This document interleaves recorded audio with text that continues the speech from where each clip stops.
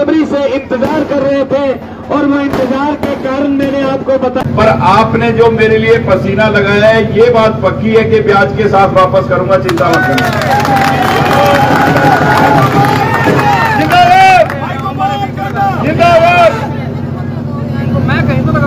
भाई, ग्रोवर भाई साहब का पता क्या कहना है? कि भाई साहब, ये दो गलियाँ बनवानी है आपने। मैं इनको ये कह रहा हूँ सिरसा की कमेटी के अंदर मैं तीन साल में 300 करोड़ रुपए लेके आया हूँ ग्रोवर साहब। 100 करोड़ रुपया अभी पड़ा हुआ है, दो गलियाँ नहीं, आप 50 गलियाँ मुझसे बनवा लेना, आप जहाँ भी वो सारा पैसा वो सिरसा के काम के लिए, सिरसा के विकास के लिए है, और आपके भाई को सीधा सीधा सबको पता है कि राजनीति में सिर्फ़ सेवा करनी है। और राजनीति में सेवा क्या है, वो आप सिरसा में देख सकते हो। भाई राकेश जी आ जाओ ऊपर। ये राजनीति देखो आज पूरा हरियाणा या हिंदुस्तान नहीं कह सकता कि आपके भाई ने कहीं से भी किसी से एक रुपया मांगा है। बोल सकता है कोई? गोपाल और गोविंद ने किसी से लिया है। नहीं लिया ना? आप मुझे एक बात बताओ। 20-25 साल आज जो हमारे सामने लड़ रहे हैं 20-25 साल उस परिवार ने राज किया है सिरसा में। 20-25 साल अरोड़ा साहब ने राज किया है ना सिरसा में? किया ना? एक काम बताओ आप इतने लोग सिरसा के खड़े हो एक भी काम बताओ सिरसा का एक काम किया हो तो बता दो मुझे क्या काम किया है। अच्छा एक बात बताओ आज सिरसा में ए बी इंटरनेशनल स्कूल वो किसका है? आपके समाज का है। अरोड़वन समाज का है ना स्कूल वो? जितने समाज के बच्चे उसमें फ्री पढ़ते हैं बताओ। कोई नहीं पढ़ता।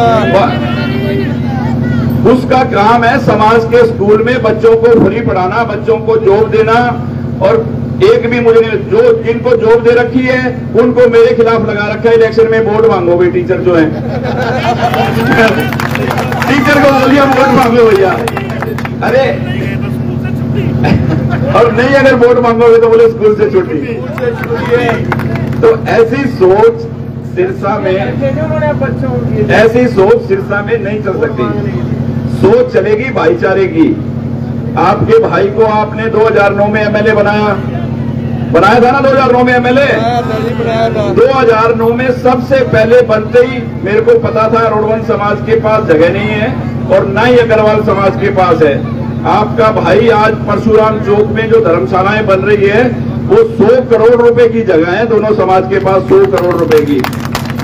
अब उसके लिए मैंने कैबिनेट में बैठ के उसके रेट कम करवा के दोनों समाज की धर्मशाला, अरोड़वन समाज की और अग्रवाल समाज की, करीब 50-50 लाख रुपए की रजिस्ट्री है, वो अपनी जेब से करवा के दोनों समाज को दी, भाईचारे की मिसाल पेश की, इस सिरसा के अंदर कि ये सिरसा धर्म नगरी है। संत महात्माओं गुरुओं गुरुद्वारों पीरों फकीरों पैगंबरों डेरों की भूमि है सिरसा और सिरसा धार्मिक नगरी है धर्म नगरी है। तो ये शांति प्रिय शहर है और आपसी भाईचारे का शहर है और आप मुझे बहुत बहुत आशीर्वाद देना ताकि सिरसा के विकास के जो काम है वो अधूरे पड़े हैं जो पूरे हों। गिफ्ट ले अंदरों गिफ्ट ले अंदरों आ लेके मेरे साथ आज मंच पर विजय फुटेला जी भी बेटी जी। वेद फुटेला जी भी और विजय सेठी जी भी हैं। मैं बहुत बहुत दिल से उनका स्वागत धन्यवाद करता हूँ। और भैया बात ये है कि गोपाल तो आपके लिए राजनीति में है। जब मुझे किसी से पैसे अंदर कर लेने दे, नहीं तो मैं वोट मांगने क्यों आता हूँ? मैं वोट मांगने इसीलिए आता हूँ कि जो मुझे करना है वो तो मुझे करना ही है। पर जो आपके लिए मुझे ताकत चाहिए, जो आपके लिए मुझे प्रोजेक्ट मंजूर करवाने हैं, जो सिरसा में पैसे लेके आने हैं, उसके लिए मुझे चंडीगढ़ जाना है, वो मुझे आपने भेजना होता है। तो कहते ना कि, वो कहते वोट बढ़िया मौका, मारो।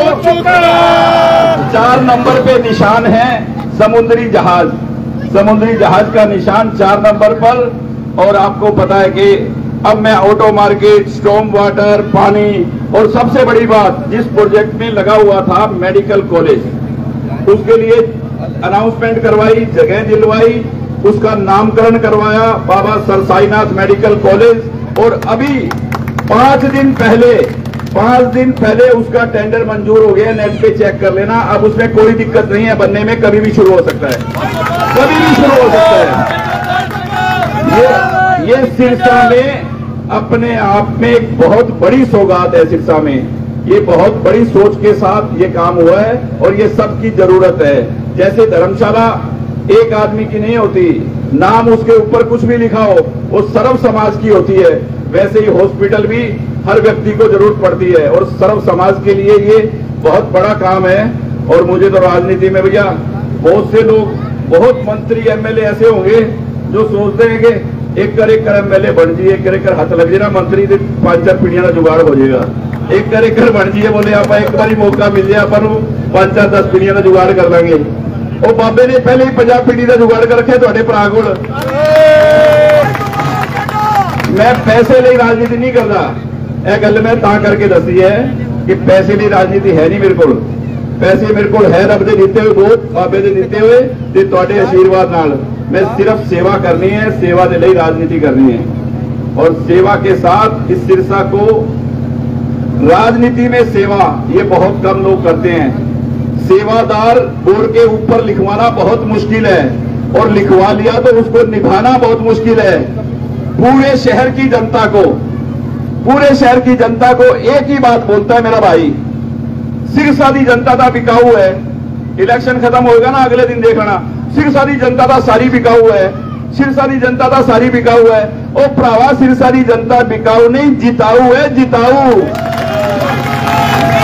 ਸਿਰਸਾ ਦੀ ਜਨਤਾ ਵਿਕਾਊ ਹੈ ਨਹੀਂ ਜਿਤਾਊ ਹੈ ਜਿਹੜਾ ਬੰਦਾ ਸਿਰਸੇ ਦੇ ਕੰਮ ਕਰੇਗਾ ਜਿਹੜਾ ਇਹਨਾਂ ਦਾ ਮਾਨ ਸਨਮਾਨ ਕਰੇਗਾ ਉਹਨਾਂ ਨੂੰ ਸਿਰਸਾ ਦੀ ਜਨਤਾ ਜਿਤਾਉਂਦੀ ਹੈ ਪਿਆਰ ਕਰਦੀ ਹੈ ਸਿਰਸਾ ਦੀ ਜਨਤਾ ਸਿਰਸਾ ਦੀ ਜਨਤਾ ਵਿਕਾਊ ਥੋੜੀ ਹੈ ਹਮੇਸ਼ਾ ਇਹ ਜੀ ਗੱਲ ਕਰਨੀ ਮਾਨ ਅਪਮਾਨ ਦੀ ਗੱਲ ਕਰਨੀ ਕਿਸੇ ਬੰਦੇ ਨੂੰ ਅੱਜ ਤੱਕ ਉਹਨਾਂ ਨੇ ਮਾਨ ਨਹੀਂ ਦਿੱਤਾ ਹੋਣਾ ਹਮੇਸ਼ਾ ਮਾਨ ਦੀ ਗੱਲ ਪੂਰੇ ਸ਼ਹਿਰ ਨੂੰ ਕਹਿ ਦੇਣਗੇ ਸਿਰਸਾ ਦੀ ਜਨਤਾ ਦਾ ਵਿਕਾਊ ਹੈ ਪੂਰਾ ਸ਼ਹਿਰ ਵਿਕਾਊ ਹੈ ਉਹ ਭਰਾਵਾ ਪੂਰਾ ਸ਼ਹਿਰ ਵਿਕਾਊ ਹੈ ਫਿਰ ਤੂੰ ਵੋਟਾਂ ਕਿਉਂ ਮੰਗਦਾ ਹੈ ਇੱਥੇ ਆ ਕੇ ਜਦੋਂ ਤੂੰ ਪੂਰਾ ਫਿਰ ਮੁ- ਮੁੱਲ ਹੀ ਲੈ ਲੈ ਫਿਰ ਤੂੰ ਪੂਰੇ ਸ਼ਹਿਰ ਕੋਲ ਜਦੋਂ ਕਹੀ ਜਾਂਦਾ ਹੈ ਕਿ ਵਿਕਾਊ ਹੈ ਵਿਕਾਊ ਹੈ ਤੇ ਫਿਰ ਤੂੰ ਮੁੱਲ ਲੈ ਲੈ ਭਰਾਵਾ ਕਰਨਾ ਗੁਰਨਾ ਕੁਛ ਨਹੀਂ ਗੱਲਾਂ ਜਿੰਨੀ ਮਰਜ਼ੀਆਂ ਕਰਾ ਲਓ ਤੇ ਅਸੀਂ ਸੇਵਾ ਕਰਨੀ ਹੈ ਰਾਜਨੀਤੀ ਦੇ ਅੰਦਰ ਸੇਵਾ ਕੀ ਹੈ ਜਦੋਂ ਮੇਰੇ ਕੋਲ ਲੈਟਰ ਆਏ ਨਾ ਬਾਹਰੋਂ ਪੂਰੇ ਹਿੰਦੁਸਤਾਨ ਕਰੋਨਾ ਦਾ ਵਕਤ ਆਇਆ ਤੁਹਾਨੂੰ ਪਤਾ ਹੈ ਕੁਟਿਆ ਤੋਂ ਕਿੰਨੀ ਕਿੰਨੀ ਸੇਵਾ ਹੋਈ।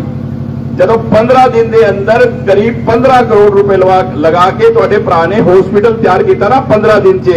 ਆਨਲਾਈਨ ਉਹਦੀ ਮੈਂ ਕਰਵਾਈ ਓਪਨਿੰਗ ਪੂਰੇ ਹਿੰਦੁਸਤਾਨ ਦੇ ਮੇਰੇ ਕੋਲ ਪੱਤਰ ਆਏ ਕਿ ਭਾਈ ਸਾਹਿਬ, ਇਹ ਜਿਹਾ ਵਿਧਾਇਕ ਪੂਰੇ ਹਿੰਦੁਸਤਾਨ 'ਚ ਨਹੀਂ ਔਰ ਆਪਣੀ ਜੇਬ ਤੋਂ 15 ਕਰੋੜ ਰੁਪਏ ਲਾ ਕੇ 15 ਦਿਨ ਦੇ ਅੰਦਰ ਹਸਪੀਟਲ ਤਿਆਰ ਕਰਦੇ ਤੇ ਜਿਹੜੇ ਮੇਰੇ ਸਾਹਮਣੇ ਆਏ ਨੇ, ਉਹਨਾਂ ਦੇ ਬਾਹਰ ਲਿਖਿਆ ਸੀ ਕਿ ਬੈਲ ਨਾ ਬਜਾਏ ਜੇ ਕਰੋਨਾ ਹੈ। ਨੋ ਐਂਟਰੀ ਹੈ। ਨੋ ਐਂਟਰੀ ਹੈ।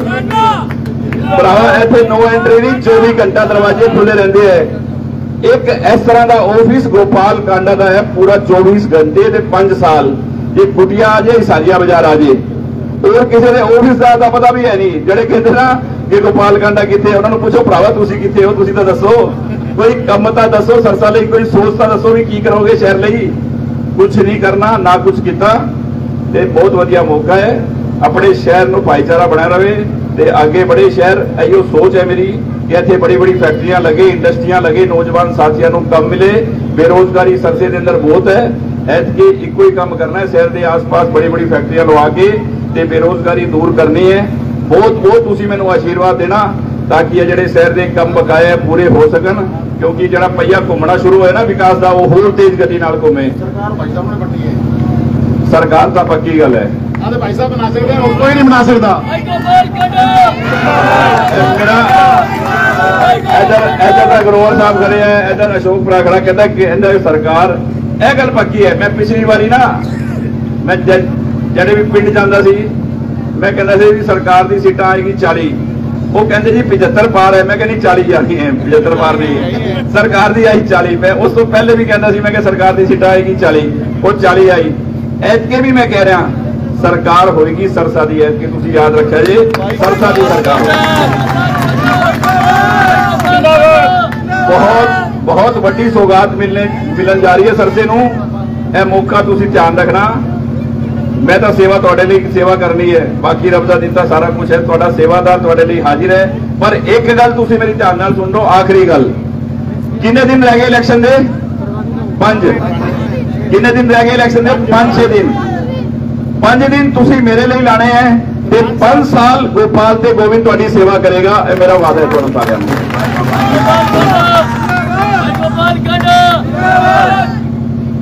ਬਹੁਤ ਬਹੁਤ ਧੰਨਵਾਦ जय हिंद जय हरियाणा। धन्यवाद